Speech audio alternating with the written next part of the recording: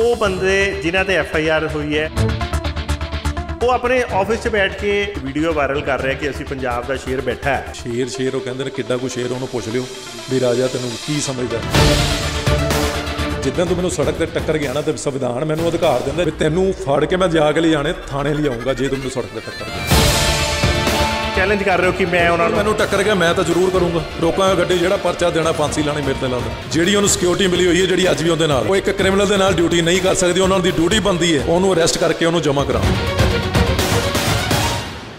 ਜਨ ਹਿਤੈਸ਼ੀ ਦੇਖ ਰਹੇ ਦਰਸ਼ਕਾਂ ਦਾ ਸਵਾਗਤ ਹੈ। ਜਨ ਜਨ ਕੀ ਬਾਤ ਜਨ ਹਿਤੈਸ਼ੀ ਕੇ ਸਾਥ। ਦੋਸਤੋ ਮੈਂ ਸੰਦੀਪ ਸ਼ਰਮਾ ਇੱਕ ਵਾਰੀ ਫਿਰ ਤੁਹਾਡੇ ਨਾਲ ਰੂਬਰੂ ਹੋ ਰਿਹਾ ਤੇ ਅੱਜ ਜਿਹੜਾ ਅਸੀਂ ਤੁਹਾਡੇ ਨਾਲ ਗੱਲਬਾਤ ਕਰਾਂਗੇ ਉਹ ਹੈ ਪੰਜਾਬ ਦੀ ਸਿਆਸਤ ਤੇ। ਸੋ ਅਸੀਂ ਤੁਹਾਡੇ ਨਾਲ ਰੂਬਰੂ ਕਰਾ ਰਹੇ ਹਾਂ ਜਸਵਿੰਦਰ ਸਿੰਘ ਰਾਜਾ ਜੀ ਨਾਲ। ਜਿੰਨੇ ਰਾਜਨੀਤਿਕ ਪਾਰਟੀਆਂ ਬਾਹਰ ਤਾਂ ਲੜਦੀਆਂ ਇਦਾਂ ਪਰ ਆਪਸ 'ਚ ਵਪਾਰ ਵੀ ਸਾਂਝੇ ਕਰਦੇ ਆ। ਉਹ ਫਿਰ ਚਾਹੇ ਸ਼ਹਿਰੀ ਲੈਵਲ ਤੇ ਐਮਐਲਏ ਇਕੱਠੇ ਕਰ ਲੈਂਦੇ ਆ ਉੱਪਰਲੇ ਲੈਵਲ ਤੇ ਮੰਤਰੀ ਇਕੱਠੇ ਕਰ ਲੈਂਦੇ ਆ ਉਸ ਤੋਂ ਉੱਪਰਲੇ ਲੈਵਲ ਤੇ ਸੀਐਮ ਇਕੱਠੇ ਕਰ ਲੈਂਦੇ ਇਦਾਂ ਦੀ ਵੀ ਗੱਲਾਂ ਕਿਉਂਕਿ ਤੁਸੀਂ ਤਾਂ ਬਹੁਤ ਨਜ਼ਦੀਕੀ ਰਹੇ ਹੋ ਬੜੇ ਵੱਡੇ ਵੱਡੇ ਰਾਜਨੇਤਾਵਾਂ ਨਾਲ।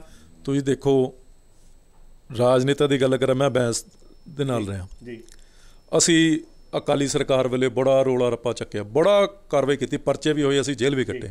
ਪਰ ਜਦੋਂ ਦੇ ਕਾਂਗਰਸ ਸਰਕਾਰ ਆਈ ਹੈ ਮੈਂ 2019 ਛੱਡਿਆ 2002 ਸਾਲ ਮੈਂ ਕਾਂਗਰਸ ਸਰਕਾਰ 'ਚ ਵੀ ਬੈਂਸ ਸਾਹਿਬ ਦੇ ਨਾਲ ਰਿਹਾ ਇੰਨੇ ਰੋਲੇ ਚੱਕਣ ਤੋਂ ਬਾਅਦ ਕੈਪਟਨ ਦੇ ਖਿਲਾਫ ਬੋਲਣਾ ਅਰਸਵਾਲਾਂ ਦੇ ਖਿਲਾਫ ਬੋਲਣਾ ਹੋਰ ਬਥੇਰੀਆਂ ਗੱਲਾਂ ਹੋਣੀਆਂ ਕਰਨ ਕਰਾਉਣ ਤੋਂ ਬਾਅਦ ਨਤੀਜਾ ਅੱਜ ਬੈਂਸ ਦੇ ਉੱਤੇ ਇੱਕ ਦੋਸ਼ ਲੱਗਦੇ ਨੇ।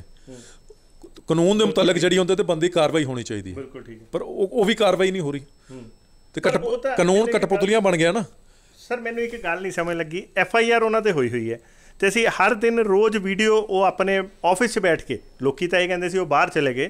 ਤੁਸੀਂ ਇਹ ਦੇਖੋ ਕਿ ਇਸ ਚੀਜ਼ ਨੂੰ ਤੁਸੀਂ ਕਿੱਦਾਂ ਦੇਖਦੇ ਹੋ ਕਿ ਉਹ ਆਪਣੇ ਆਫਿਸ 'ਚ ਬੈਠ ਕੇ ਵੀਡੀਓ ਪਾਉਂਦੇ ਆ ਕਿ ਪੰਜਾਬ ਦਾ ਸ਼ੇਰ ਇੱਥੇ ਬੈਠਾ, ਕਿਤੇ ਨਹੀਂ ਭੱਜਿਆ। ਇਹਦਾ ਕੀ ਮਤਲਬ ਹੈ? ਇਹਨੂੰ ਕਿਸ ਨਜ਼ਰ ਨਾਲ ਦੇਖਣਾ ਚਾਹੀਦਾ ਹੈ? ਪੁਲਿਸ ਪ੍ਰਸ਼ਾਸਨ ਜਿਹੜੀ ਹੈਗੀ ਹੈ ਐਫ ਆਈ ਆਰ ਹੋਈ ਹੋਈ ਹੈ। ਅਦਾਲਤ ਦੇ ਗਏ ਤੇ ਪਹਿਲਾਂ ਤਾਂ ਐਫ ਆਈ ਆਰ ਹੋਣਾ, ਉਸ ਤੋਂ ਬਾਅਦ ਪੁਲਿਸ ਪ੍ਰਸ਼ਾਸਨ ਨੂੰ ਮੂੰਹ ਚੜਾ ਰਿਹਾ ਇੱਕ ਬੰਦਾ। ਇਸ ਸਾਰਾ ਸਮਾਜ 'ਚ ਕੀ ਮੈਸੇਜ ਆ ਰਿਹਾ? ਦੇਖੋ ਸਰ, ਇਹ ਨੰਗਾ ਚਿੱਟਾ ਹੀ ਹੈ ਇਹਨੂੰ ਦੇਖਣਾ ਕੀ ਹੈ? ਇਹ ਜਨਾਜ਼ਾ ਨਿਕਲ ਰਿਹਾ। ਸੰਵਿਧਾਨ ਦਾ ਜਨਾਜ਼ਾ ਨਿਕਲ ਰਿਹਾ। ਜਿਨ੍ਹਾਂ ਲੋਕਾਂ ਨੂੰ ਸੰਵਿਧਾਨ ਦੀ ਪਾਲਣਾ ਕਰਨ, ਕਰਾਉਣ ਲਈ ਵਿਧਾਨ ਸਭਾ 'ਚ ਭੇਜਿਆ ਜਾਂਦਾ, ਉਹ ਜਨਾਜ਼ਾ ਕੱਢ ਰਹੇ ਨੇ। ਇਸ ਤੋਂ ਵੱਡਾ ਅੰਡਰ ਦਾ ਟੇਬਲ ਰਲੇਵਾ ਕੀ ਹੋ ਸਕਦਾ? ਦੇਖੋ, ਅਸੀਂ ਨਹੀਂ ਕਹਿੰਦੇ ਬੈਂਸ ਦੋਸ਼ੀ ਹੈ। ਅਸੀਂ ਇਹ ਗੱਲ ਕਹਿੰਦੇ ਆ ਵੀ ਬੈਂਸ ਦੇ ਖਿਲਾਫ ਕੰਪਲੇਂਟ ਆਈ ਹੈ। ਰਾਜੇ ਦੇ ਖਿਲਾਫ ਕੰਪਲੇਂਟ ਆਈ, ਥਾਣੇ ਦੇ ਵਿੱਚ ਰਾਜੇ ਖਿਲਾਫ ਜੇ ਬੰਦੀ ਹੈ ਤਾਂ ਪਰਚਾ ਦਰਜ ਹੋ ਜਾਂਦਾ ਸੰਦੀਪ ਜੀ ਦੇ ਖਿਲਾਫ ਕੋਈ ਕੰਪਲੇਂਟ ਆਂਦੀ ਹੈ, ਪਰਚਾ ਦਰਜ ਹੋ ਜਾਂਦਾ ਹੈ। ਜਦੋਂ ਬੈਂਸ ਦੇ ਖਿਲਾਫ ਆਂਦੀ ਹੈ ਤਾਂ ਕਿਉਂ ਨਹੀਂ ਦਰਜ ਹੋ ਰਿਹਾ? ਉਹਦੇ ਸਾਥੀ ਜਿਹੜੇ ਗੱਲਾਂ ਮਾਰੀ ਜਾਂਦੇ ਨੇ, ਜੋ ਸੁੱਚਾ ਸਿੰਘ ਲਗਾ ਦੀ ਬਾਰ-ਬਾਰ ਤੁਸੀਂ ਗੱਲ ਕਰਦੇ ਹੋ, ਸੁੱਚਾ ਸਿੰਘ ਲਗਾ ਦੇ ਅਸੀਂ ਕਾਂਗਰਸ ਸਰਕਾਰ 'ਚ ਦੋਸ਼ ਲੱਗੇ। ਉਹਨੂੰ ਉਸੇ ਟਾਈਮ ਉਹਦੇ ਤੇ ਪਰਚਾ ਦਰਜ ਹੋਇਆ, ਉਹਨੂੰ ਚੱਕ ਕੇ ਅੰਦਰ ਦਿੱਤਾ, ਉਹ 6-7 ਮਹੀਨੇ ਜੇਲ੍ਹ 'ਚ ਲਾ ਗਿਆ, ਉਸ ਤੋਂ ਬਾਅਦ ਜ਼ਮਾਨਤਾਂ ਹੋਈਆਂ। ਇਹ ਤਰ੍ਹਾਂ ਤਰ੍ਹਾਂ ਦੀਆਂ ਕੱਲ ਦੀਆਂ ਅਖਬਾਰ ਦੀਆਂ ਕਟੀਆਂ ਚੱਕੀ ਫਿਰਦੇ। ਉਹਦੇ ਵਿੱਚ ਵੀ ਪੜ੍ਹ ਲਓ। ਪੂਰੀ ਖਬਰ ਪੜੋ ਉਹਦੇ ਚ ਆਈਓ ਨੇ ਕੀ ਕਿਹਾ ਵੀ ਜਿਹੜੇ ਔਰਤ ਦੇ ਬਿਆਨਾਂ ਦੇ ਉੱਤੇ ਅਸੀਂ ਪਰਚਾ ਦਰਜ ਕਰ ਲਿਆ ਤੇ ਅਗਲੀ ਏਰੀ ਕਾਰਵਾਈ ਕਰ ਰਹੇ ਹਾਂ। ਤੇ ਫਿਰ ਬੈਂਸ ਤੇ ਕਿਉਂ ਨਹੀਂ ਹੋ ਰਿਹਾ? ਕਿਉਂਕਿ ਬੈਂਸ ਐਮਐਲਏ ਨਹੀਂ ਪਰਚਾ ਤਾਂ ਹੋਈ ਗਿਆ ਭਾਜੀ ਕੋਰਟ ਥਰੂ ਹੋਇਆ ਨਾ। ਜੀ। ਬਣਦਾ ਤਾਂ ਪੁਲਿਸ ਦਾ ਸੀ। ਮੈਂ ਕਹਿੰਦਾ ਪਰਚੇ ਤੋਂ ਬਾਅਦ ਹੁਣ ਅਰੈਸਟ ਕਿਉਂ ਨਹੀਂ ਹੋ ਰਹੀ? ਪੁਲਿਸ ਪਰਚਾ ਦਰਜ ਕਰਦੀ। ਉਹਦੇ ਚ ਕੋਈ ਬੈਂਸ ਦੋਸ਼ੀ ਨਹੀਂ ਹੈ। ਜੀ ਬਿਲਕੁਲ ਠੀਕ ਹੈ। ਦੋਸ਼ੀ ਦੇ ਦੋਸ਼ ਅਦਾਲਤ ਜਾ ਕੇ ਸਾਬਤ ਹੁੰਦੇ ਨੇ, ਜਦੋਂ ਤੁਸੀਂ ਉੱਥੇ ਆਪਣੇ ਸਾਰੇ ਪ੍ਰੂਫ ਗਵਾਹ ਸਾਰੇ ਚੀਜ਼ਾਂ ਪੇਸ਼ ਕਰਦੇ ਹੋ। ਇਹ ਇਸੇ ਚੀਜ਼ ਦਾ ਰਲੇਵਾ ਹੈ ਵੀ ਅੰਡਰ ਦੀ ਟੇਬਲ ਹੈ, ਕਿੰਨੇ ਗਟਮਿਟ ਨੇ ਉਹਨਾਂ ਨੂੰ ਲੱਗਦਾ ਬਹਿਸ ਪਤਾ ਨਹੀਂ 9 ਸੀਟਾਂ ਦੇ ਉੱਤੇ ਬੜਾ ਵਜੂਦ ਰੱਖਦਾ ਅਕਾਲੀ ਦਲ ਦੀ ਵੋਟ ਤੋੜਦਾ ਹੈ। ਹਮੇਸ਼ਾ ਤੋਂ ਉਹਨੇ ਅਕਾਲੀ ਦਲ ਦੀ ਵੋਟ ਤੋੜੀ ਹੈ ਤੇ ਕਾਂਗਰਸ ਨੂੰ ਪਿਛਲੀ ਸਰਕਾਰ ਵੇਲੇ ਫਾਇਦਾ ਹੋਇਆ ਇਸ ਕਰਕੇ ਉਹਨੂੰ ਸੈਟਿੰਗ ਰੱਖ ਰਹੇ ਨੇ ਉਹਦੇ ਨਾਲ ਵੀ ਸਾਨੂੰ ਉਹ ਫਾਇਦਾ ਦਊਗਾ। ਔਰ ਇੱਥੋਂ ਤੱਕ ਤਾਂ ਤੁਹਾਨੂੰ ਵੀ ਪਤਾ ਮੀਡੀਆ 'ਚ ਵੀ ਗੱਲਾਂ ਆ ਗਈਆਂ ਸੀ ਵੀ ਇਹ ਕਾਂਗਰਸ ਜਾ ਰਹੇ ਨੇ। ਬਿਲਕੁਲ। ਉਹ ਕਿਉਂ ਜਾ ਵੀ ਤਾਂ ਆ ਗਈ ਸੀ। ਤੁਸੀਂ ਆਪ ਹੀ ਦੱਸਿਆ ਸੀ ਇਹ ਤਾਂ ਜਿਹੜਾ ਅਮਿਤ ਸ਼ਾਹ ਜੀ ਨਾਲ ਵੀ ਮੀਟਿੰਗਾਂ ਕਰ ਰਹੇ ਸੀਗੇ ਕਿ ਜੇ ਇਹਨਾਂ ਤੇ ਪਰਚਾ ਨਾ ਹੁੰਦਾ ਤੇ ਇਹ ਇਸ ਵਾਰੀ ਹੋ ਸਕਦਾ ਬੀਜੇਪੀ ਪੰਜਾਬ ਦੇ ਮੌਕਾ ਪ੍ਰਸਤੀ ਹੈ ਨਾ ਭਾਜੀ? ਜੀ। ਨਹੀਂ ਪਰ ਮੌਕਾ ਪ੍ਰਸਤੀ ਆ। ਅਕਾਲੀ ਦਲ ਨਾਲ ਬੀਜੇਪੀ ਦਾ ਟੁੱਟਣਾ ਇਹਨਾਂ ਨੂੰ ਲੱਗ ਰਿਹਾ ਸੀ ਅਸੀਂ ਬੜੇ ਉੱਪਰ ਲੈਵਲ ਤੇ ਆ ਜਾਾਂਗੇ। ਪਰ ਕਿਸਾਨਾਂ ਦੇ ਮੁੱਦੇ ਦੇ ਉੱਤੇ ਆ ਕੇ ਇਹ ਬੈਕਫੁੱਟ ਤੇ ਆ ਗਏ।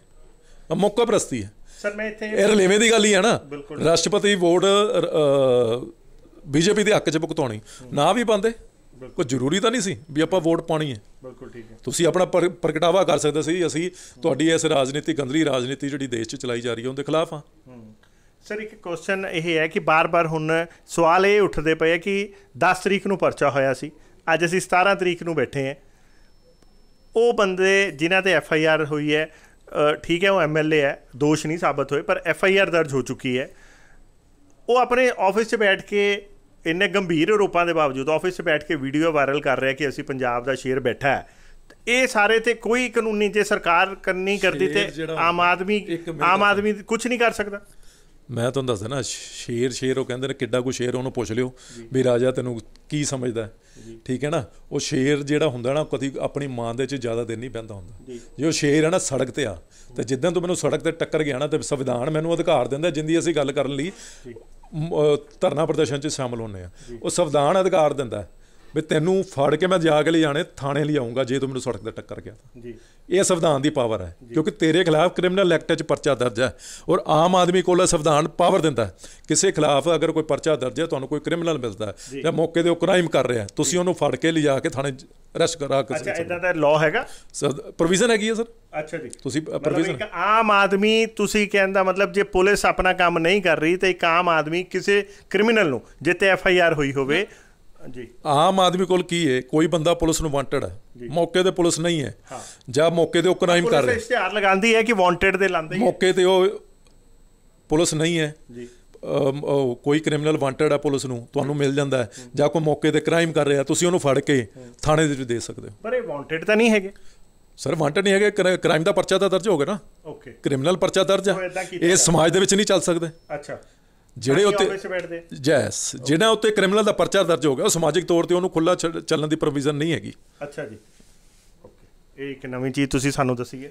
ਤੇ ਤੁਸੀਂ ਹੁਣ ਇਹ ਕਹਿ ਰਹੇ ਹੋ ਕਿ ਤੁਸੀਂ ਖੁਦ ਤੁਸੀਂ ਚੈਲੰਜ ਕਰ ਤੁਸੀਂ ਵੀ ਕਰ ਸਕਦੇ ਹੋ। ਨਹੀਂ ਪਰ ਤੁਸੀਂ ਚੈਲੰਜ ਕਰ ਰਹੇ ਹੋ ਕਿ ਮੈਂ ਉਹਨਾਂ ਨੂੰ ਮੈਨੂੰ ਟੱਕਰ ਗਿਆ ਮੈਂ ਤਾਂ ਜ਼ਰੂਰ ਕਰੂੰਗਾ। ਰੋਕਾਂਗਾ ਗੱਡੀ ਜਿਹੜਾ ਪਰਚਾ ਦੇਣਾ ਫਾਂਸੀ ਲਾਣੀ ਮੇਰੇ ਤੇ ਲਾ ਦੇਣ। ਤੇ ਇੱਕ ਆਖਰੀ ਕੁਐਸਚਨ ਹੈ। ਮੈਂ ਵੀ ਤੁਹਾਨੂੰ ਦੱਸ ਦਿਆਂ। ਜੀ। ਇਹ ਬਹੁਤ ਵੱਡਾ ਸਵਾਲ ਹੈ ਜਿੰਦੇ ਉੱਤੇ ਅਸੀਂ ਰਿਟ ਪਟੀਸ਼ਨ ਤਿਆਰ ਕਰ ਰਹੇ ਹਾਂ। ਜਿਹੜੀ ਉਹਨੂੰ ਸਿਕਿਉਰਿਟੀ ਮਿਲੀ ਹੋਈ ਹੈ ਜਿਹੜੀ ਅੱਜ ਵੀ ਉਹਦੇ ਨਾਲ ਹੈ ਮੇਰਾ ਇਹੀ ਕੁਐਸਚਨ ਉਹ ਪੁਲਿਸ ਵਰਦੀ ਦੇ ਵਿੱਚ ਹੈ। ਜੀ। ਉਹ ਇੱਕ ਕ੍ਰਿਮੀਨਲ ਦੇ ਨਾਲ ਡਿਊਟੀ ਨਹੀਂ ਕਰ ਸਕਦੀ ਉਹਨਾਂ ਦੀ ਡਿਊਟੀ ਬੰਦੀ ਹੈ। ਉਹਨੂੰ ਅਰੈਸਟ ਕਰਕੇ ਉਹਨੂੰ ਜਮ੍ਹਾਂ ਕਰਾਉਣ ਥਾਣੇ ਦੇ ਵਿੱਚ। ਅੱਛਾ ਅੱਛਾ ਮਤਲਬ ਜਿਹੜੀ ਨਾਲ ਸਿਕਿਉਰਿਟੀ ਹੈ ਉਹ ਓਕੇ। ਕੱਲੀ ਉਹਦੀ ਨਹੀਂ ਇਹ ਨਹੀਂ ਵੀ ਉਹਦੀ ਸਿਕਿਉਰਿਟੀ ਉਹਦੇ ਬ੍ਰਦਰ ਕੋਲ ਵੀ ਸਿਕਿਉਰਿਟੀ ਹੈ। ਉਹ ਵੀ ਅਰੈਸਟ ਕਰਕੇ ਅੰਦਰ ਦੇ ਸਕਦੀ ਹੈ। ਕੋਈ ਵੀ ਪੁਲਿਸ ਮੁਲਾਜ਼ਮ ਚਾਹੇ ਔਨ ਡਿਊਟੀ ਡਿਊਟੀ ਹੈ ਜਾਂ ਨਹੀਂ ਹੈ ਜਿੰਦੇ ਖਿਲਾਫ ਪਰਚਾ ਦਰਜ ਹੈ ਉਹਨੂੰ ਚੱਕ ਕੇ ਅੰਦਰ ਦੇ ਸਕਦੀ ਹੈ। ਅੱਛਾ ਜੀ। ਹਾਂਜੀ। ਇਹ ਸੰਵਿਧਾਨ ਕਹਿੰਦਾ ਹੈ ਪ੍ਰੋਵੀਜ਼ਨ ਹੈ। ਓਕੇ ਸੋ ਬਹੁਤ ਸਾਰੇ ਕੁਝ ਹੋਰ ਕਹਿਣਾ ਚਾਹੋਗੇ ਤੁਸੀਂ? ਮੈਂ ਤਾਂ ਨੌਜਵਾਨਾਂ ਨੂੰ ਸਾਥੀਆਂ ਨੂੰ ਸਾਰਿਆਂ ਨੂੰ ਇਹੀ ਅਪੀਲ ਕਰਦਾ ਇਹ ਜੋ ਨੰਗਾ ਨਾਚ ਰਾਜਨੀਤੀ ਦੇ ਵਿੱਚ ਹੋ ਰਿਹਾ ਜਿਨ੍ਹਾਂ ਹਾਲਾਤਾਂ ਦੇ ਵਿੱਚ ਹੋ ਰਿਹਾ ਇਹਦੇ ਵਿੱਚ ਤੁਸੀਂ ਕਿੱਥੇ ਹੋ? ਪੰਜਾਬ ਕਿੱਥੇ ਹੈ? ਪੰਜਾਬ ਦੇ ਮੁੱਦੇ ਕਿੱਥੇ ਨੇ?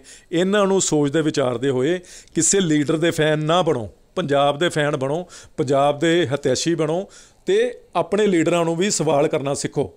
ਕਿਉਂਕਿ ਕਿਸੇ ਲੀਡਰ ਕੋਲ ਤੁਸੀਂ ਤਨਖਾਹ ਨਹੀਂ ਲੈਂਦੇ, ਉਹਨੂੰ ਲੀਡਰ ਤੁਸੀਂ ਖੁਦ ਬਣਾਉਂਦੇ ਹੋ। ਤਾਂ ਕਿ ਆਉਣ ਵਾਲੀਆਂ 2022 ਦੇ ਵਿੱਚ ਕੋਈ ਵੀ ਬੰਦਾ ਸੜਕ ਤੇ ਤੁਰਨ ਤੋਂ ਪਹਿਲਾਂ ਆਪਣੇ ਆਪ ਨੂੰ ਇਹ ਸੋਚ ਕੇ ਤੁਰੇ ਵੀ ਲੋਕਾਂ ਨੇ ਜਾਂਦਿਆਂ ਮੈਨੂੰ ਸਵਾਲ ਕਰਨੇ ਨੇ ਤੇ ਮੈਂ ਉਹਦੇ ਜਵਾਬ ਕੀ ਦੇਣੇ ਤੇ ਮੈਂ ਲੋਕਾਂ ਨੂੰ ਸਰਵ ਕੀ ਕਰਕੇ ਆਇਆ ਪਿਛਲੇ ਸਮੇਂ ਦੌਰਾਨ।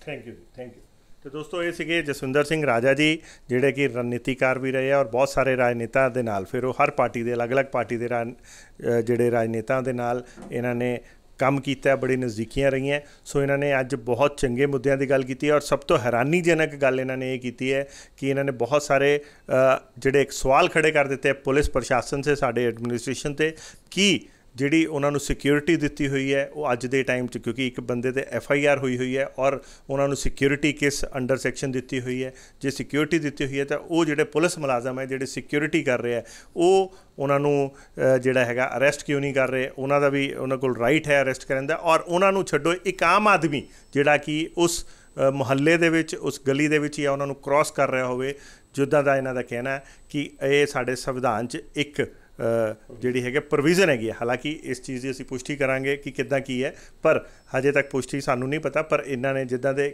ਗੱਲ ਕੀਤੀ ਹੈ ਕਿ ਸੰਵਿਧਾਨ ਦੇ ਵਿੱਚ ਜਿਹੜੀ ਹੈਗੀ ਹੈ, ਅਸੀਂ ਐਕਸਪਰਟ ਤੋਂ ਵੀ ਇਹਦੇ ਰਾਏ ਜ਼ਰੂਰ ਲਵਾਂਗੇ ਇਸ ਟੌਪਿਕ ਤੇ, ਪਰ ਇਸ ਚੀਜ਼ ਦੀ ਇੱਕ ਪ੍ਰੋਵੀਜ਼ਨ ਹੈ ਸੰਵਿਧਾਨ 'ਚ ਕਿ ਆਮ ਆਦਮੀ ਵੀ ਜਿਹੜਾ ਹੈਗਾ, ਇੱਕ ਵਾਂਟਡ ਨੂੰ ਜਾਂ ਇੱਕ ਜਿਹੜੇ, ਜਿਹਦੇ ਤੇ ਕ੍ਰਿਮੀਨਲ ਐਕਟ ਦੇ ਅੰਡਰ ਐਫ ਆਈ ਆਰ ਹੋਈ ਹੈ, ਉਹਨੂੰ ਅਰੈਸਟ ਕਰ ਸਕਦਾ ਸੋ ਮੈਂ, ਤੁਸੀਂ ਹਰ ਕੋਈ ਇਨਸਾਨ ਅਰੈਸਟ ਕਰ ਸਕਦਾ ਸਾਡਾ ਤਾਂ ਪਤਾ ਨਹੀਂ, ਪਰ ਰਾਜਾ ਜੀ ਨੇ ਅੱਜ ਉਹਨਾਂ ਨੂੰ ਚੈਲੰਜ ਦਿੱਤਾ ਜਿਹੜੇ ਬੈਂਸ ਸਾਹਿਬ ਹੈਗੇ ਹੈ ਸਿਮਰਜੀਤ ਸਿੰਘ ਬੈਂਸ ਨੂੰ ਕਿ ਜਿੱਥੇ ਮੈਂ ਉਹਨਾਂ ਨੂੰ ਰਸਤੇ 'ਚ ਦੇਖ ਲਿਆ ਤੇ ਮੈਂ ਉਹਨਾਂ ਨੂੰ ਖੁਦ ਫੜ ਕੇ ਪੁਲਿਸ ਦੇ ਹਵਾਲੇ ਕਰਾਂਗਾ।